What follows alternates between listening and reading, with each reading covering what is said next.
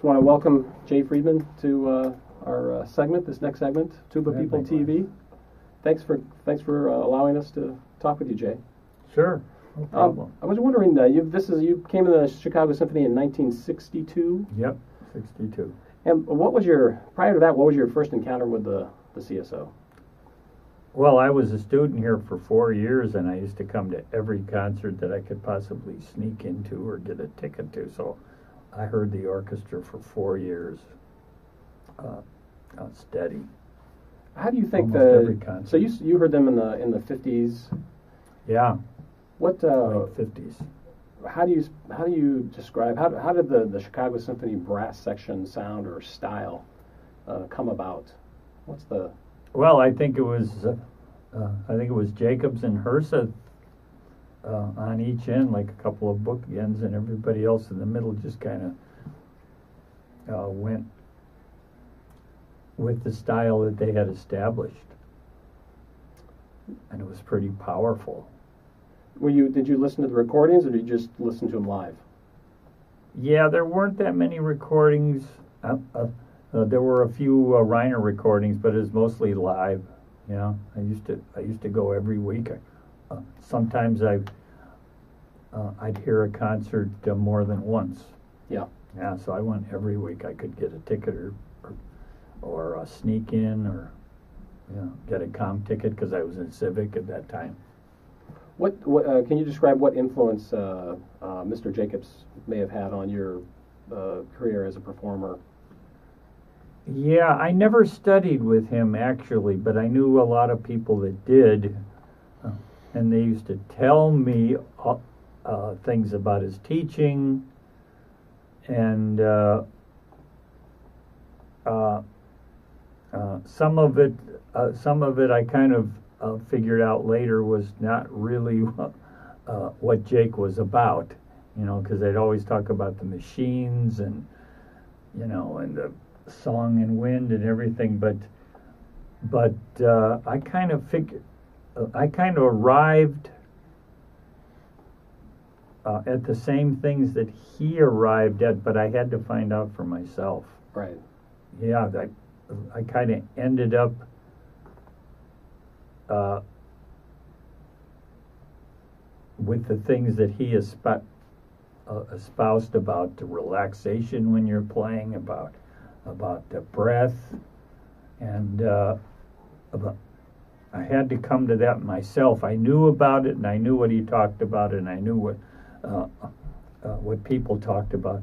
Uh, And I just came back from Europe. I did some brass concerts over there, and uh, everybody has a different idea uh, about the Jacobs thing, and uh, and he thinks that we're uh, uh, we're all Jacobs uh, clones here, uh, which is kind of misunderstood. Yeah. I mean, I played with Jake for 25 years, uh, but I never studied with him. But I knew uh, what people talked about in his lessons and things like that. So, I mean, I was well aware of the style, uh, even though, like I say, uh, uh, it got uh, perverted a lot because uh, people would take the wrong things out of a lesson.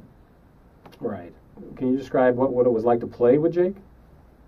Yeah, well, it was uh, the thing that I remember uh, was the style uh, and the sound that he got out of out of a huge uh, instrument, which was so alive and it was so vocal.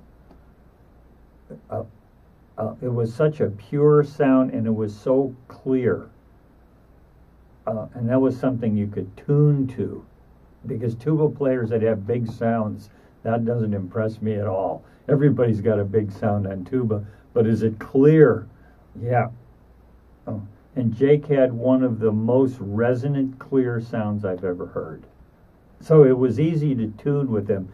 Uh, and of course uh, it, uh, uh, kleinhammer sat, uh, sat next to him and he had an amazingly clear sound. So it was so easy to play uh, soft things with them because it, uh, it was such an alive sound. Uh, and that's what I would say about the Chicago Symphony Brass then. Uh, and we try to keep uh, that style going now, although it's not the same. It was more electric in those days.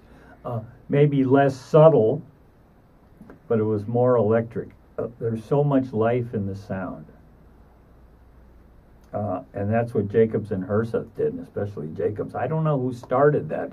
Uh, they both kind of arrived on the scene at the same time, and they both both uh, played that style where the sound just just uh, absolutely jumps out of the horn. And I've been trying to teach that and uh, talk about it uh, wherever I go. Do you happen to remember your first uh, first concert?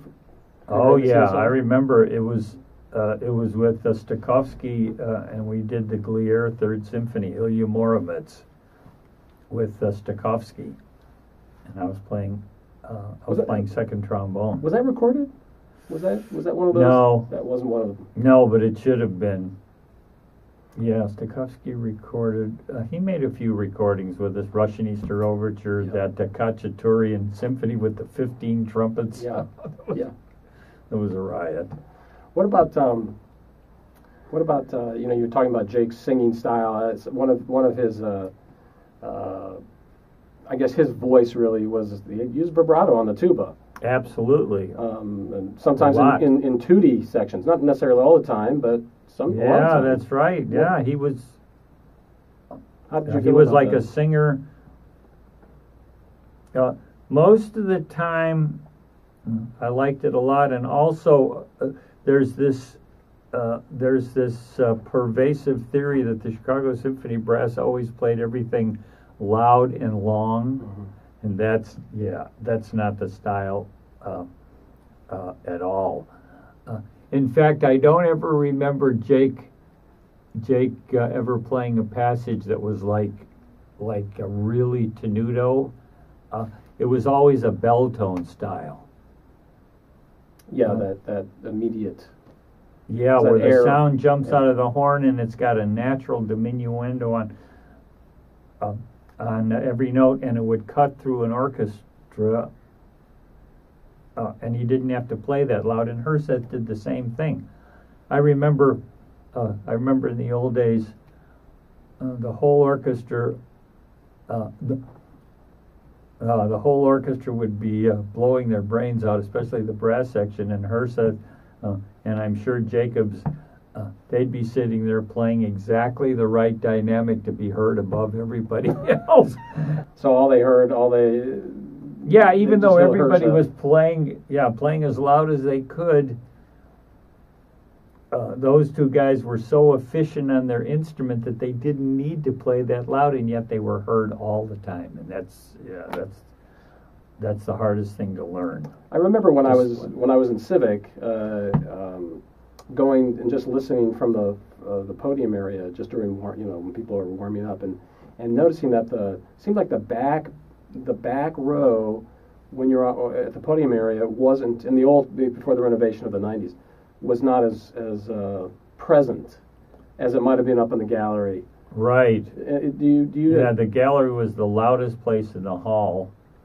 I remember Herseth talking about this, and uh, you know, people were trying to explain, well, how did the Chicago Symphony brass get so loud? And he, one of the things he attributed to was the fact that the from the, conductor podium, couldn't hear 'em. Yeah, Right. has that been your, experience as well? Yeah, I mean, I've conducted from the podium, and it's a very, no, it's a strange sensation. The brass uh, uh, volume, it's kind of diffuse. Uh, uh, it's not what we hear back there, and it's not what you hear out in the hall. And uh, used to tell these stories with the Reiner. Uh, there'd be a review where the brass was just uh, way too loud, way too loud. Uh, so Reiner would uh, uh, would tell the brass section, "I don't want to hear it. You're too loud, and this and that." And after about uh, three or four days of rehearsal, Reiner Reiner would say, "It sounds anemic," and then they'd be right back up to the old volume again. I see. And so. uh, Well, is that style that you're talking? Sorry, from behind the camera, Yeah, Mike. Mike Becker. that style that you're talking about, the, the immediacy of the sound, way Yeah. it jumps out. Is that the style that you think is distinctive with Chicago Symphony Oh, Brass? absolutely. Yeah, I've never heard anybody else do that. In fact, I, uh, I just did some brass concerts over in Europe, and I talked to them about this, and a few people got really excited about it and said, "That's the way we want to play." But, uh, but nobody can agree on style over there, just like everywhere else. But when they heard this uh, concept of of uh, notes jumping out of the horn uh, and being uh, uh, uh, and being very live. It really comes down to making a ringing sound. Right. Yeah, not a dead sound, and it's all the way you start notes, uh, and it's all the way how relaxed you are in your body. You know this old uh, this old German thing where you got to play with a firm foundation. Down here, Jake uh, Jake really kind of cleared the air on that one, and uh, and made people realize that it's uh, that it's a bunch of bunk. Mhm. The more relaxed you are, and the more work you can do from the chin up and the embouchure, yeah, Speed of the air. yeah, Mhm. and fast airstream out of a relaxed body. Yeah. And I don't think Jacobs was the, absolutely the first one because I think Schlossberg was about that, and and the Kleinhammer told me ab, uh, about a second trumpet player that used to be in uh, in the St. Louis Symphony uh, back in the 40s, and he used to talk about uh, the rib cage being bellows, uh, just like Jake used to talk about Mhm. also. So uh, that's been around. It's just that it hasn't uh, been disseminated that uh, uh, that well until Jacobs came, and uh, and, uh, and like I say, there was a lot of mistaken uh, things that were attributed to Jake. But Jake is about uh, is about uh, uh, ring in the sound, uh, life in the sound, a vocal quality, uh, and that's really Right. what it boils down to. So probably students confuse, they hear the, the presence of the brass section Yeah. sound. They, they confuse that immediacy and that presence with being loud when it's really not loud. No, it's, just alive. a, a style that matches together Right. when, when the Yeah, hits if it. everybody does that, it's amazing. It must have been when you when, when you got in the orchestra. You were quite young. Yeah. Uh, Yeah, did, did 23. your low brass colleagues uh, make it easy for you? Were yeah, they because I had studied with the principal before that, Bob Lambert, and I uh, and I knew Mr. Kleinhammer. Uh, he's the one that uh, that arranged to get my trombone, which I'm still playing today, believe it or not. Is that right? Yeah, he went up t- to the music store with me and and uh, told me what to order and Wow. yeah, and everything. So, yeah, I'm still playing that horn today. Well, thanks so much for spending these few minutes Sure. uh, with with uh, Mike and I and Puddles. and um, uh, Puddles um, is always uh, very careful to remind me to be a, a good um, host, and uh, so we he's directed me to uh, bring to you a bag of genuine University of Oregon duck nuts. Cool. And they're uh, dark chocolate duck nuts. Wow. nuts, so they're really special. Oh, thanks. Wow, this looks yeah, this looks fantastic. Thank you. All right, I'll Thank- take this home Thanks a lot. with me. Yeah, It's great to see you. yeah, good to see you. All right. Thanks.